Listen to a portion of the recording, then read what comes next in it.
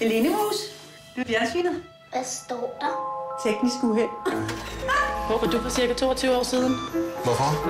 Hvad er det, du har gang i med de der halvgamle drenge? De kunne være din far. Og så en af mine gamle flammer i avisen. Det er sgu da sjovt. Er det ikke sjovt, spørger jeg. Er det da ham? Er det da ham? Er det da ham? Kan du ikke tænke på andet? Undskyld, jeg forstyrrer. Hvor er din hund? Min hund. Det er jo en hund. Ja, det er en hund. Fej for sat. Må den så godt? Ja, selvfølgelig må han det. Du ser mig som den, jeg virkelig er. Jeg ser mig selv i dig. Vi behøver dig ikke mere.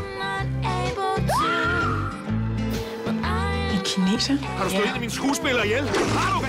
Jeg kan spille hund. Hvad siger du, Sten? Har du så dit eget værelse? Ja, selvfølgelig. Må jeg se det? Skaff mig en brand. Brand eller død? Hvad er bedst? Død og koldt. Er du så hendes filajs? Nej.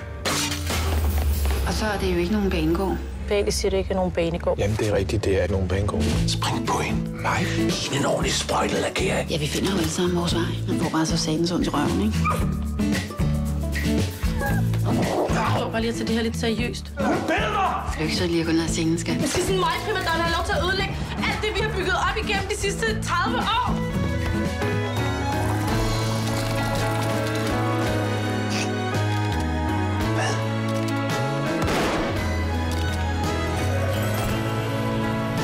Har du en, altså, bare nogenlunde idé om, hvor vi skal hen med det her, Erling? Øh, Jeg havde tænkt noget øhm, øh, med en øh, jagtrifle gemt under sofaen. Så kan jeg godt lide øh, snevejr.